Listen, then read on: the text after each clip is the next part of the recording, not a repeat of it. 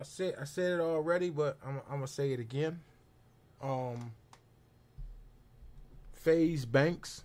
So let's go to FaZe Banks page real quick. I want I want to I want to say like uh because let me see. There's Banks. I want I want to show y'all something. If we got if we can hurry up and do this. Um, this right here. If you don't know, there's some shit going on on the internet right now where people are ex- supposedly exposing Sketch. Sketch used to do some OnlyFans work before he became Sketch, and he was doing he was dibble dabbling in the in the rainbow section of shit, doing shit, which is not my motherfucking business at all. It's not mine at all. So he left that behind, and he seen that he was getting right on the video games, created a character, doing all this type of stuff, getting big, being in TV shows, this, this, and that, all uh, announcing Texans and shit like that. And niggas want to go do their, you know, find out where where they do. But I never seen this many niggas worried about another man's dick in my life. Oh, he did OnlyFans. Yeah, oh my God, he's a sex worker.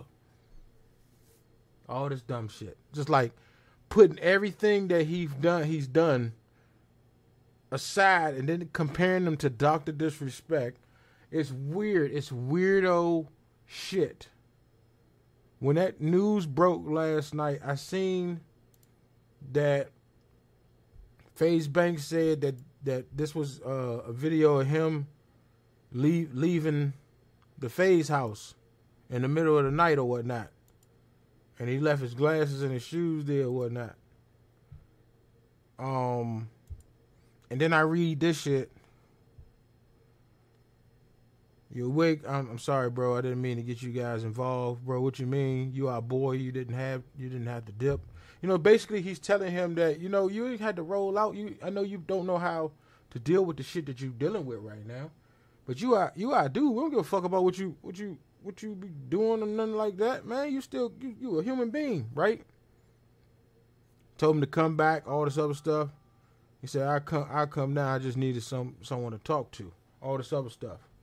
Now, Sketch went live um, today, and he talked about, it and he kind of got emotional when he was talking about it. And he was talking about how, you know, um, he was talking about how uh, if nobody was home, if he ain't had nobody to talk to, and if nobody was home, he was basically saying how he was gonna kill himself. He said he was gonna bite a bullet. So this would have been the last picture you would have seen of him.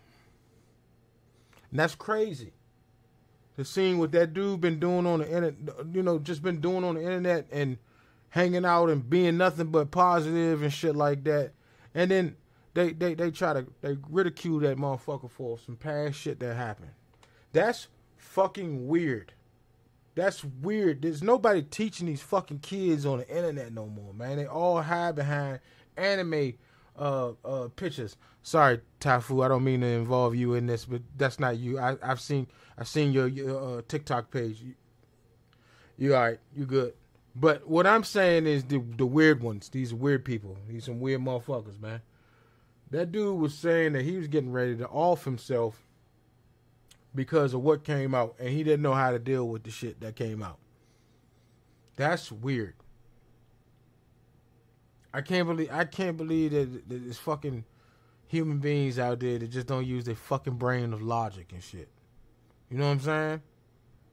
And then I seen this on while I was while I was watching wrestling. I seen this right here. I wanted to see what Kyle was talking about in this. Why do you why do why do people care so much, bro? And it's grown men.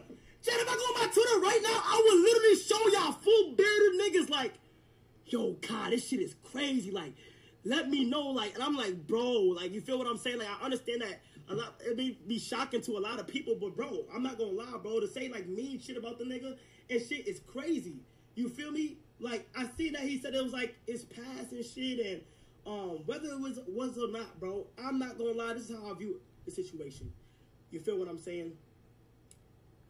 Why does something that somebody else do get you so mad to the point where you gotta go on the internet and bully the nigga. Like, that.